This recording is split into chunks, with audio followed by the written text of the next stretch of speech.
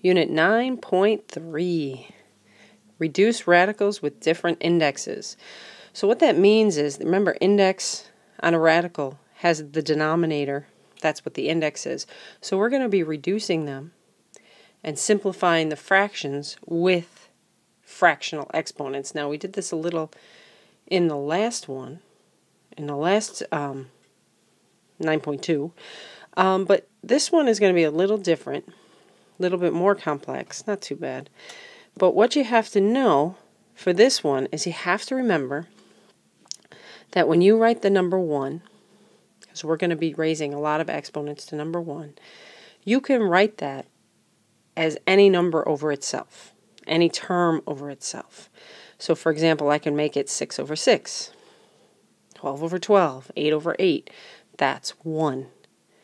But what you also need to know is this can kind of be broken down into a multiplication as like 6 over 1 times 1 over 6. If you know this fact, this little section is going to be very simple. Knowing that these are all the same thing. It's going to make this very simple. But if not, um, hopefully by the end you will um, understand what I mean.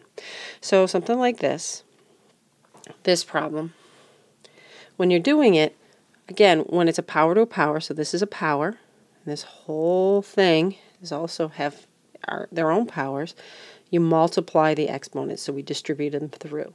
And when we distribute this through, remember, multiplying fractions is no problem excuse me, multiplying fractions is no problem. Multiply tops, multiply bottoms. That means you multiply the tops, you multiply the bottoms. Okay? And when we reduce this, we get one third. So when I multiply one half times two thirds, I get x to the one third power. Down here, if I multiply a half times negative 2, Remember that negative 2 is just negative 2 over 1. Please do that if you ever forget, or use your calculator. But this kind of math shouldn't be too bad. Multiply tops, you get negative 2. Multiply bottoms, you get 2. You reduce that, you get negative 1.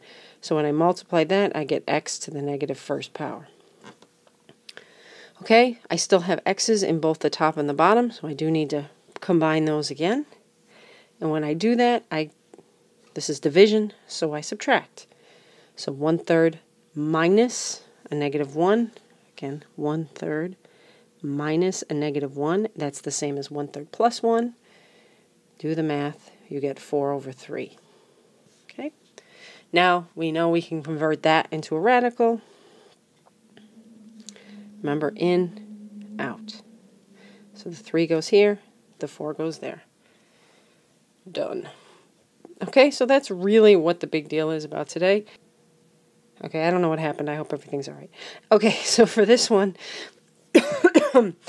this one is the one where you have to remember that 1 is the same as like 6 over 6. I want to write this, as it says up here, as a single radical. So if I want to write this as a single radical, this one, if I wrote this one as a radical, it would be the square root of x, and this one would be the cubed root of y squared. Uh, that doesn't help me. Okay, so what I need to do, excuse me, what I need to do is get them so they have the same indexes. I need to get these numbers to be the same. And that number is called a common denominator. So a common denominator for 2 and 3 is 6. And what I do is I raise the exponent I raise this whole power thing to 1. But as you remember, be, well, because, you know, when you raise it to the first power, it doesn't do anything. It doesn't change it. But when you remember is I need, if I can do this, everything is going to be a little bit simpler. Okay? So, what I do, and this uh, might take a little while to get used to for you to understand, but remember, 6 over 6 is the same as 6 over 1 times 1 over 6, right? Multiply tops, multiply bottoms. So if I take this, just the top part, and multiply it through, it'll leave the 1 sixth on the outside which is going to make it have that same radical. And that 6 thrown in there, watch what happens when this when I throw the 6 in there. I multiply the tops, remember, and I'm going to leave the bottoms out here. The bottom's going to stay outside. And I multiply the 6 in. I get 6 over 2. And then I multiply the 6 in, just the top. I get 12 over 3. Okay, so far that doesn't look awesome, but 6 over 2 is 3. 12 over 3 is 4. And I do all this to the 1 6th power. Now this I can write as a single radical because the whole this whole thing is being raised to the 1 6th power. So that goes inside, that goes out. And now I can just write this as 6 on the outside, 1 on the inside. So it's x to the third, y to the fourth. Done. Okay, so writing it as a single radical, you're learning a lot about exponents and how we can manipulate them for our own purposes. Okay, so the basic idea, now this is for any time you're rewriting stuff, rewrite all radicals as rational exponents and make sure you put a 1 on all unlabeled exponents. It's very important that you do that um, so that you don't get confused. Then we do the whole to the power of one thing, which hopefully you'll understand shortly if you don't get it already. So first thing, rewrite all of them with rational exponents. So this one, um, 2 over 3. So this one is that. And all of this is raised to the second power. Simplify as usual. Distribute in. So multiply 2. Remember, this is 2 over 1. So if I multiply 2 times 1 fourth, it's x to the 2 over 4, or 1 half. Multiply this. This is y to the 4 over 3. Okay? That's it. Now I wanted to write it as a single radical, and that's the problem. What I need to do, and the whole point of this, so if you have another way you can think of or another way that makes more sense to you, please feel free. I need to get both of these denominators to be the same number. That's what I need. Um, so if you want to just get them to have a common denominator, you can do that too. I find that if I just find the common denominator, the common denominator here um, is 6 again. That's nice. So the common denominator here is 6. If I just do this, I leave the one sixth on the outside, and I let the top one, and I multiply that one in, just the top part of the fraction, and leave the bottom part here, I get x to the 6 over 2, y to the 24 over 3, and then all of this, so then I need this, this 6 here to be there. And now that 6 is on the bottom. So I do that. So 6 over 2 is 3. 24 over 3 is 8. And then this is just the cube, the sixth root there. So this 1 sixth um, makes this thing over here. That's it. Okay, it takes practice to do this. It is a little um, unnerving at first, but try it out. Um, see if you can do this one possibly on your own. If not, I am going to just work my way through it. Okay, everything's already has rational exponents. The y doesn't have an exponent, so I'm going to put its 1 there. Then I simply distribute that 3 halves to each of those. Remember, we're multiplying because it's power to a power. So when I do that, I get x to the first power y to the 3 over 2. So I'm just multiplying. I'm not going to go over multiplying fractions again. 3 over 4 and y 3 over 4. Now, I want to make it so that I only have one exponent to one power. So here I have x's, so I have to subtract them. So I have to do 1 minus 3 fourths. So when I do 1 minus 3 fourths, I simply get x to the 1 fourth I have to do 3 halves minus 3 fourths. And when I do that, I get 3 fourths. Okay, look here. they both already have a common denominator. So this is also an option. If they don't have a common denominator, you can get them to have one. Okay? And once they get the common denominator, you simply factor out the 4's on the bottom.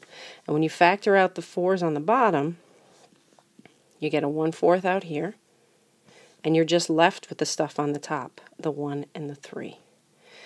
What you might want to think about is, I don't want to confuse you. So it's as simple as that. The top numbers go here, here and here, and the bottom number goes out here. Okay, but it, since it is on the bottom, it has to stay on the bottom, so it needs to be 1 over 4. Then writing this as a radical is as simple as that, x, y to the third. So this thing goes inside the radical, and that 4 goes on the outside. That is all. Okay, try these on your own. I'll try this one on your own. The next one's a little different. Um, I'm going to pause it and show you the answer in a second. Remember, make everything rational exponents and reduce normally. All right, so here's the answer right here. Um, the common denominator was 6. So that's why the 6 is on the outside here. And then I just divided. And it's all, that's all there is, y to the third. Okay, if you're having problems with adding and subtracting fractions, it's a whole nother story, but you can still work on that.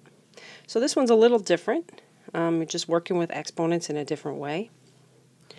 So you can see here, um, and this is just kind of to, to mess with you a little bit, I guess, but to also have you see things that you may not, sorry about that, see things that um, you may not have seen or you may not have noticed. So this is x to the 1 fifth. Okay, and remember like terms are terms that have the same base and the same exponent. These have the same base, they have the same exponent. These are like terms. We're subtracting. We're not dividing, we're not multiplying, we are subtracting. So that means exponents don't change when you subtract. So this is simply 2x to the 1 fifth power. And this is 2 like that. That's it, if you want to write it in radical form. Um, in this particular one, I, we want it in radical form. Okay, that's really it. The major concepts of today that um, if you had a problem, this was what the problem was. Um, it may take a little practice for you to figure out, but for the most part, the basic idea is this. All right, may look confusing, but this is just saying if I have like x squared and I raise it to the first power, I can make it anything. I can make it 5 over 5. That's the first power. I can just rewrite this as a radical or as, you know, anything I want it to be um, by taking this 5 and multiplying it in. Okay, if I take that 5 and multiply it in, this 5 stays on the outside, so it would be x to the 10th to the 1 5th power. That's it. I want to write it in radical form. There it is. So this is the same as x squared. It's just we're raising it to the 5 over 5 power. Okay? This is a concept that's actually very important in this class. Um, and this is just the beginning, the introduction of it. So hopefully by the end you'll understand it. But this right here is just uh, an alternative to it. What you're going to be seeing in this class in the future is they're going to say something like you have x to the, um, well, let's leave it as n, x to the n power. Okay? Write it as um, to the tn power. Okay? So that means they want you to put a t right here. But you can't just put a t right there. You just can't. So what you have to do is if I multiplied by t, I have to divide by t on the outside. Or the other way around. If you divide by t, you have to multiply it by it on the outside. So that's it. That's all that it means. This one's on the top of the fraction. This one's on the bottom of the fraction. So it's really just 1. I hope you uh, kind of understand this a little bit. A little practice tomorrow maybe will uh, solidify it. Or you just yell at your teacher and say, I suck. Either way, have a good night. Bye.